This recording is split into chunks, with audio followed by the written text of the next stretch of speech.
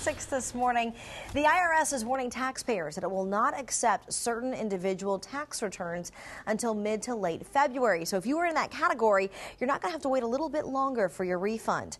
WDSU News reporter Rosa Flores is on your side with who has to wait and how long. Good morning, Rosa. Hey, Randy, good morning. Now, remember how Congress and President Barack Obama went back and forth regarding the Tax Relief Act? Well, the act was enacted on December 17th, and Uncle Sam has to update all the forms and reprogram his computer system to handle all these new laws, and well, that takes time.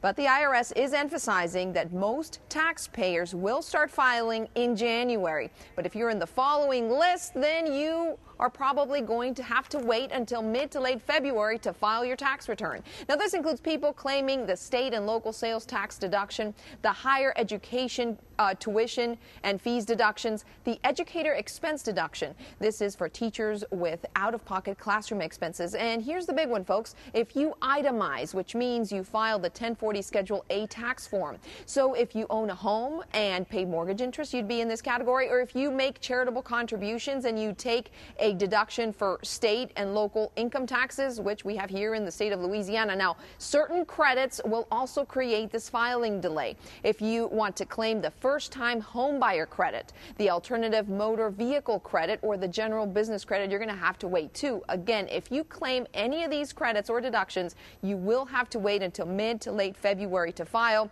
Now, this affects both paper filers and e filers. Same thing applies for people who buy tax preparation software to prepare the tax returns. If you are in that category, you want to look for that download update. You'll be able to download that update to your computer, and that'll take care of you. That's latest here from the newsroom. I'm Rosa Flores for WDSU News. Thank you, Rosa. And the IRS will announce the specific date when people affected by the new tax changes will be able to file their tax returns. And due to the late changes, IRS is urging that taxpayers e-file instead of paper file their tax forms.